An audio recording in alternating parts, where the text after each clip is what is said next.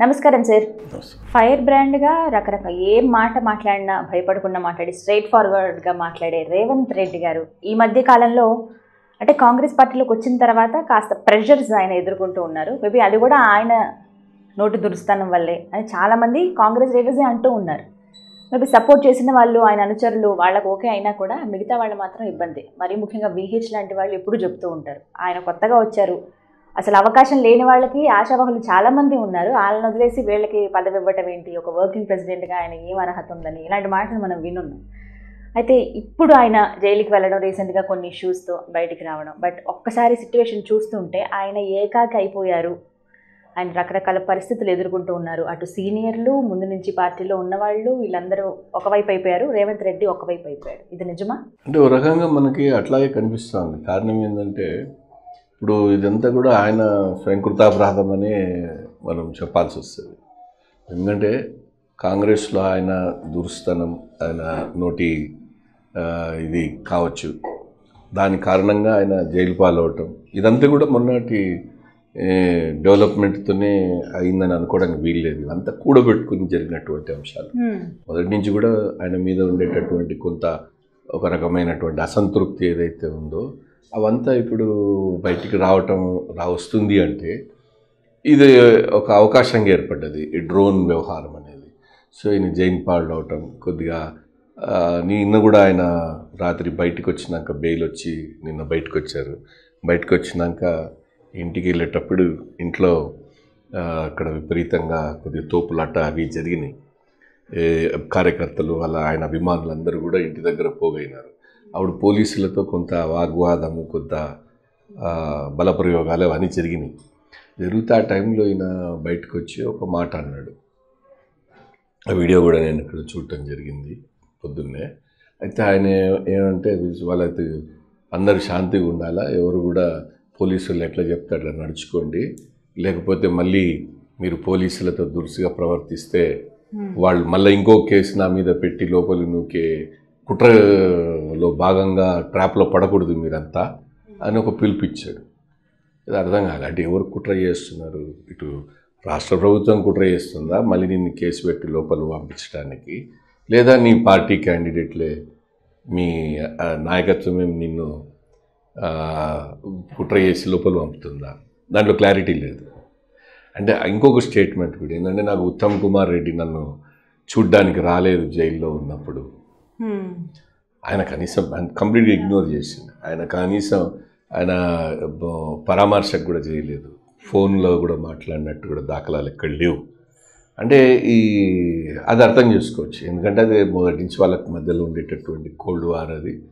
అది తనతో సంప్రదించకుండా ఆయన అధ్యక్షుడు తనతో సంప్రదించకుండా ఈయన పోయి ఆ పక్క పని చేసినాడు కాబట్టి ఆయనకు ఆ-. కోపం మీద ఆయన పరామర్శించకపోయి ఉండొచ్చు. ఆయన పట్టించుకోకపోయి ఉండొచ్చు కానీ ఆ దాన్ని ఈయన అవకాశంగా మళ్ళీ మలుచుకొని తనకు అనుకూలంగా సో అధ్యక్షుడు నన్ను వచ్చి ఉత్తమ్ కుమార్ పరామర్శించలేదు అనే ఒక మాట. అట్లాంటి చాలామంది పరామర్శించలేదు. బయట నుండి స్టేట్మెంట్ ఇస్తూ ఉన్నారు కానీ చాలామంది నాయకులు ఎవరు కూడా ఆయనను పరామర్శించలేదు. సో ఇవన్నీ ఏమవుతున్నాయి అంటే కాంగ్రెస్లో ఇటువంటి అంతర్గత కలహాలు కామనే పెద్ద ఈ పెద్ద ఆశ్చర్యమేం కావు. ఎందుకంటే ఒకవే ఒకవేళ ప్రశాంతంగా ఉంటే ఆశ్చర్యం. అది దట్స్ సెవెంత్ వండర్. అదే. అందరూ మంచి కలిసి కట్టుకుని స్మూత్గా పోతుంటే కాంగ్రెస్ పార్టీలో అవి సెవెంత్ వండర్ అది. Rather eighth wonder. కాకపోతే ఇట్లా కలహాలతో వాళ్ళు ఇట్లా రోడ్ల మీద పట్టడం పెద్ద ఆశ్చర్యమేం కాదు. కాబట్టి విచిత్రం ఏంటంటే వాళ్ళిద్దరికి టగ్ ఆఫ్ వార్ అనేది జరుగుతుంది కాబట్టి. ఇద్దరి మధ్యలో ఒక కోల్డ్ వార్ జరుగుతుంది. అధ్యక్ష పదవికి ఈయన పోటీ పడుతున్నాడు. కాకపోతే ఈయన అభిప్రాయం ఏంది? దానికి అడ్డం పడేది ఢిల్లీలో ఉత్తమ్ కుమారే అడ్డం పడుతున్నాడు అనేది ఒక ఫీలింగ్లో రేవంత్ కుమారు ఆయన వర్గీయులందరూ కూడా ఉన్నది వాస్తవం. ఆ ఫీలింగ్లో ఉన్నారు. ఓకే. ఉత్తమే అడ్డం పడుతున్నాడు ఈయనకి అని అయితే మరి వాస్తవం తెలియదు కదా ఏం అనేది అది అన్లెస్ బయటికి వాళ్ళ హైకమాండ్. క్లారిటీ ఇస్తే తప్పితే అనౌన్స్ చేస్తే తప్పితే ఇదంతా కూడా రాజకీయం ఏంటంటే దాని గురించే దాని చుట్టే తిరుగుతున్నాయి. వాళ్ళ టీపీసీసీ పదవి అధ్యక్ష పదవి గురించే దాని చుట్టే తిరుగుతున్నాయి రాజకీయాలు ఎప్పుడు విహెచ్ అలాగే రేవంత్ రెడ్డి వీరిద్దరి మధ్య వైరం ఉండనే ఉంది. ఏదో ఒక ఇష్యూలో మేబీ ఆయన విహెచ్ అంటే అట్లా కాదమ్మా. విహెచ్కి ఒక ఐడెంటిటీ ఉంది. ఎట్లా అంటే ఆయన ఒక బీసీ లీడర్గా ఆయనకి గుర్తింపు. ఫస్ట్ నుంచి ఆయన మొదటి నుంచి కూడా ఆయన బీసీ సామాజిక వర్గానికి వెనుదన్నుగా ఉండడం ఆయన మద్దతుగా నిలబడటం మొదటి నుంచి కూడా అది ఉంది ఆయనకి. మ్మ్. సో ఆ ఇమేజ్ ఉంది కాబట్టి ఆయన ఎప్పుడు మాట్లాడినా కూడా ఇప్పుడే కాదు మొదటి నుంచి కూడా ఆయన మాట్లాడినా బీసీ కోణంలోనే మాట్లాడతాడు. బీసీ వాళ్ళ హక్కుల గురించి వాటి గురించి మాట్లాడతాడు. సో అటువంటి వాయిస్ కూడా అవసరం. ఎందుకంటే ప్రిడామినెంట్గా అక్కడ ఈ రెడ్డి కమ్యూనిటీ కదా డామినేట్ చేసేది. మరి ఇటువంటి వాయిస్ లేకపోతే వాళ్ళందరూ ఏమవుతారు. థర్డ్ రంగ్ ఫోర్త్ రంగ్కి వెళ్ళిపోతారు. కాబట్టి ఫస్ట్ రంగ్ అంతా కూడా మీకు మ్యాక్సిమం అంతా వీళ్ళే కదా. అంతా ఒక ఒక సామాజిక వర్గానికి చెందిన వ్యక్తులే. ఇప్పుడు మన ఆంధ్రలో లాగా పచ్చిగా మనం కూడా మాట్లాడుకోవాలా? పేర్లు పెట్టుకుని. ఓపెన్ చేసుకో ఓపెన్గా రెడ్డి మాట్లాడుకోవాలి. కమ్యూనిటీ డామినేషన్ కదా. కాంగ్రెస్ అంటే రెడ్డి రెడ్డి అంటే కాంగ్రెస్. ఇంకా దాంట్లో తీయద్దు పెట్టద్దు. It's a open fact so ఆ పరిస్థితులలో మీరు డెఫినెట్గా ఒక వాయిస్ బీసీ వాయిస్ అనేది ఉండాలి? సో ప్రస్తుతం మీకు స్ట్రాంగ్గా బీసీ వాయిస్ ఏదైనా ఉంది అనుకుంటే కనుక అది హనుమంతరావే మ్మ్. అదే అందులో డౌట్ లేదు. ఆయన మొదటి నుంచి అట్లాగే ఉన్నాడు. ఇప్పుడు కూడా అదే మెయింటైన్ చేస్తూ ఉన్నాడు. సో ఇక షబ్బీర్ అలీ ఉన్నాడు. మైనారిటీ వాయిస్గా ఆయన పనిచేస్తాడు. కాకపోతే ఆయన పాపం అటు ఇటుగా మాట్లాడతాడు ఆయన. ఏది? ఫర్మ్గా స్టా స్టఫ్గా స్టిఫ్గా ఉండడు ఆయన. స్ట్రిక్ట్గా ఒక పాయింట్ మీద ఉండడు. ఇప్పుడు చీఫ్ అది ఇప్పుడు అధ్యక్ష పదవి కోసం చాలా మంది లిస్ట్లో ఉన్నారు కదా సార్. అదే అండి, ఎవరి ప్రయత్నాలు వాళ్ళు చేసుకుంటున్నారు? వాళ్ళ వాళ్ళ లెవెల్లో వాళ్ళ వాళ్ళ స్టైల్లో వాళ్ళ వాళ్ళ పద్ధతులలో ఇప్పటికి చేసుకుంటా ఇప్పుడు ఒక ఉన్నారు. మాస్ లీడర్ ఈయన స్టైల్ ఒకటి. ఈయన ఏంటంటే అంత హంగామా అంత సెంటర్ ఆఫ్ అట్రాక్షన్ ఉండాలి. అందరి దృష్టిని ఆకర్షించాలి. ఈయన అదొక- టైపు. రేవంత్ రెడ్డి. మొదటి నుంచి ఆయన ఎక్కడున్న ఒక సంచలనమే. సో ఆ సంచలనాల చక్రవర్తి మన అంటే ఒక మంచి. మాస్ ఫాలోయింగ్ ఉన్న వ్యక్తి ఎవరైనా ఉన్నారంటే రేవంత్ రెడ్డి అని చాలా మంది చెప్తూ ఉన్నారు? ఆయనకి మించిన. Mass following. Congress party. Mass following ఏం లేదు. మాస్ ఫాలోయింగ్ అనరు దాన్ని. యూత్ ఫాలోయింగ్ ఉంది. Youth following mass following is different mass following is a big leader ఒక ఒక పెద్ద టవరింగ్ పర్సనాలిటీ ఉంటే మాస్ ఫాలోయింగ్ ఎవరంటారు సార్ ఇప్పుడు అంత అంత ఉన్నారు రేంజ్లో కాంగ్రెస్ పార్టీలో ఎవరు లేరు అదే కదా సమస్య. వచ్చింది ప్రాబ్లం దానికి.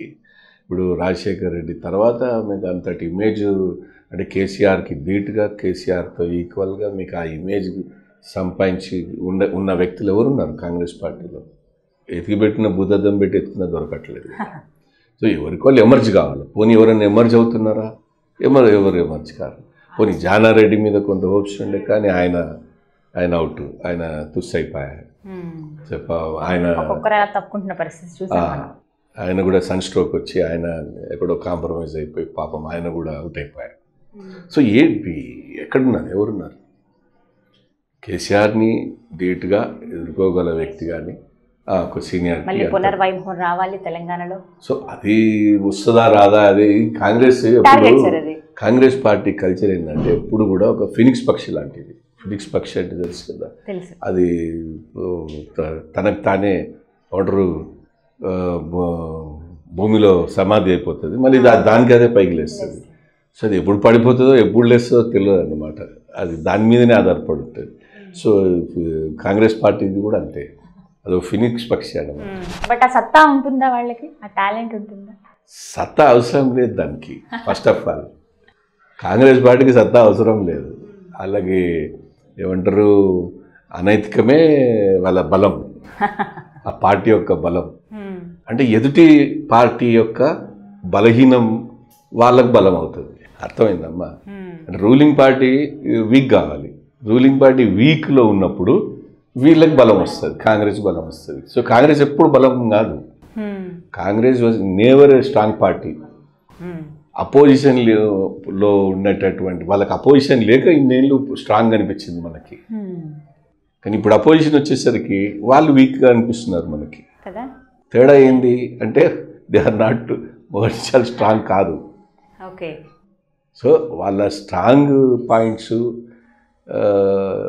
అంటే అవతలోడి అపోజిషన్ యొక్క వీక్నెస్సే వాళ్ళ స్టాండ్ పాయింట్ సో చూడాలి మరి. ఈయనైతే ప్రస్తుతానికి ఒంటరిగా దూరంగా పెడుతున్న సంగతి అయితే అందరికీ తెలిసిందే. బట్ ఎంత మింగిల్ అవుతారా? హైకమాండ్ నుంచి ఏం ఆన్సర్ వస్తుంది? అధ్యక్ష పదవిలో ఎవరున్నారు? ఎవరికి ఛాన్స్ ఇస్తారనేది లెట్స్ వెయిట్ క్లారిటీ వచ్చేంత వరకు పరిస్థితి. ఇలాగే కంటిన్యూ అవుతుంది. Right thank you sir thank you so much చూసారు కదా ఇది వాళ్ళ వీడియో ఈ వీడియో కనుక మీకు నచ్చినట్టయితే లైక్ చేయండి షేర్ చేయండి కామెంట్ చేయండి. మా ఛానల్ను సబ్స్క్రైబ్ చేసుకోండి.